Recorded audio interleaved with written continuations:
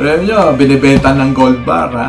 6 na kilo. 6 na kilong gold bar. Dinepositohan ng 2,000, 2,000 dolyar. Humigit kumulang 100,000 piso na deposito nung uh, taga Belgium. Our beloved Boss Mike, Boss Mike,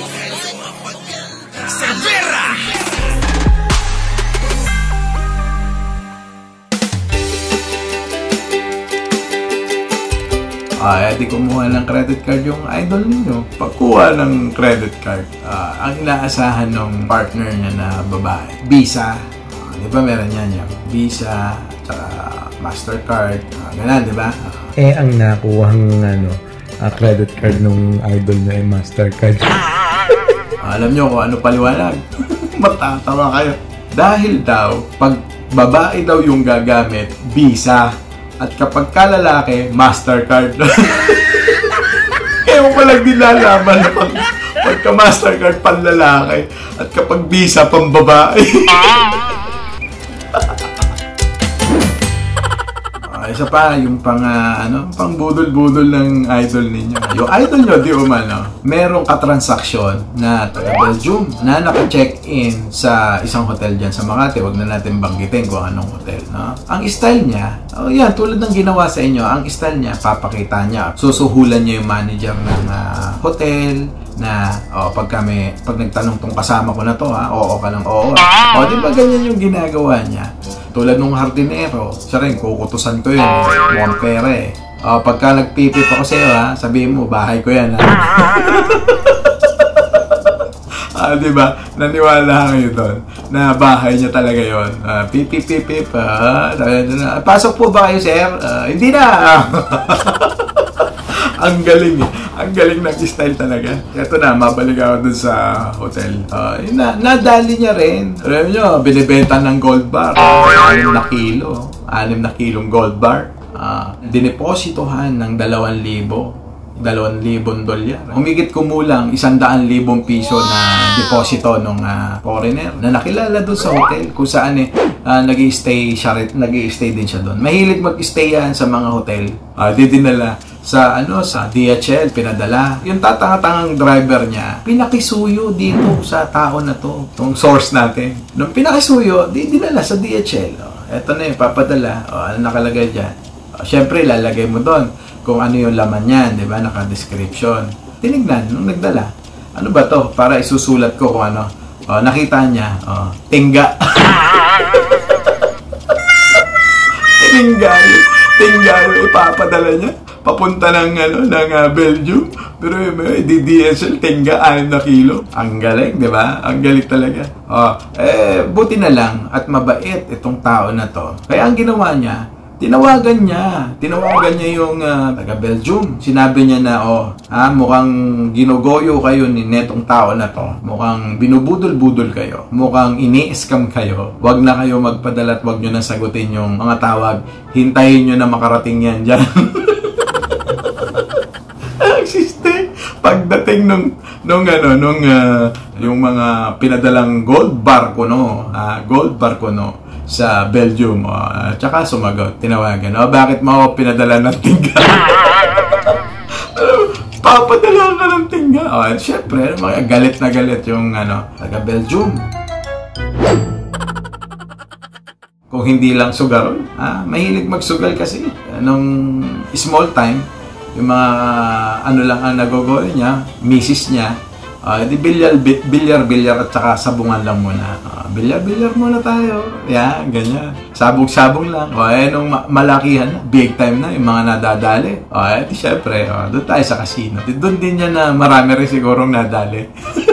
eh, syempre, marami mga na, nando doon na naglalaro. Di ba? Mga mayayaman. Nag-aaliw-aliw na lang. Eh, magaling magsalita yung idol nyo. Sabi ko nga eh, halos buong uh, sambayan ng Pilipino eh, mai-scam niya eh. Dahil sa bigas at kalabasa, ha, muntik ma-scam ang buong sambayan ng Pilipino. Oh, hindi ba naman magaling, ha? Magaling talaga.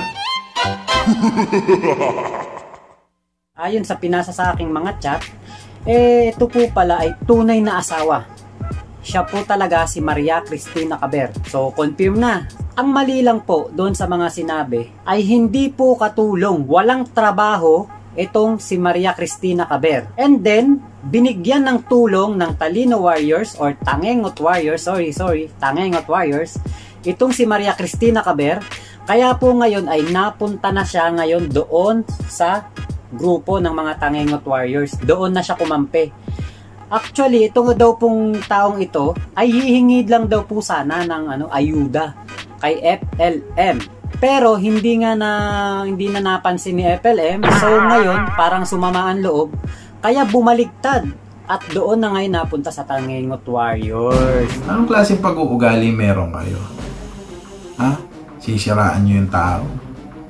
Na kesyo naghihirap? O may ginawa ba kayo? Sana may ginawa kayo. Binigyan nyo ba? Ha? Inabutan nyo ba? Kahit isang kilong bigas. O sinasabi nyo, humihingi ng ayuda. O, binigyan nyo ba? Hindi. O, di tanga kayo. Yan ang mga paninira. Humingi sa inyo ng tulong. Akala ko ba'y matulungin kayo, mga lintik kayo? Akala ko ba'y matulungin? Eh, hindi naman iba sa kanya yan. Dating asawa, hindi mo matutulungan? Wala bang pinagsamahan niya? Eh, sinasabi ko, yung, yung, yung pamilya ng ano ninyo, anito ninyo. Oh, ganyan sila. Naglalaglagan. Francis Leo Marcos and I is not correlated. Ang pangalan niya ay Lorenzo Mahusin. Oh, Yun yung mas kilala ko. Hmm. That's why, ang sinabi ko sa video, FLM or AKA Norman Mahusin is not my, it's not correlated. Hmm. Kasi ang, ang, ang, ang kuya na inaalala ko is Lorenzo. Ganyan ba gusto nyo ipamana sa mga anak natin? Ganyan? Ganyan mga pananaw sa buhay tulad ng pananaw ninyo? Gusto nyo kaming paniwalain sa ganyan?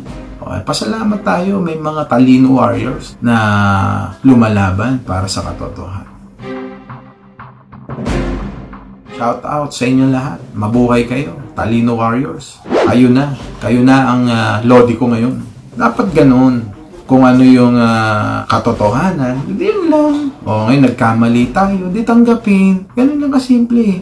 O unless talagang kakapit na kayo sa tinatamasa nyo at inaakala nyo na walang hanggang kita dyan sa channel ninyo. Eh kasi unang-una, ganyan lang kakonti ang kanyang subscriber, tas sasagutin ko.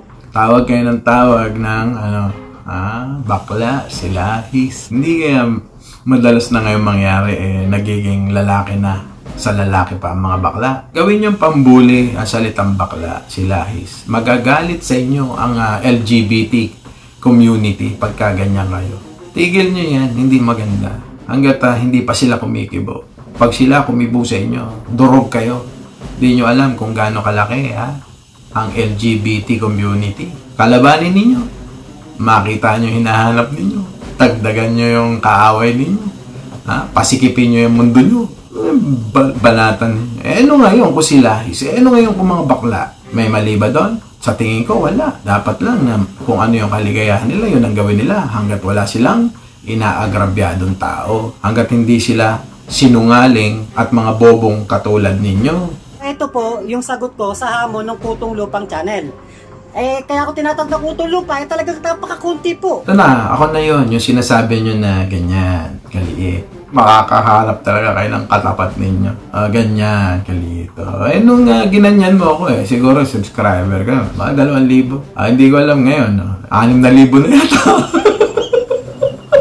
oh, di ba? Eh, kasi nga, yan yun. Ang mga mga tao, hindi na bobo. Alam nyo kung sino na lang bobo? Kayo na nananatili dyan.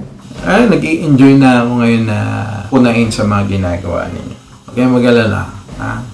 Hindi ko kayo tatantanan. Ah, Tito Mike Enriquez, sa pahiram ng tagline.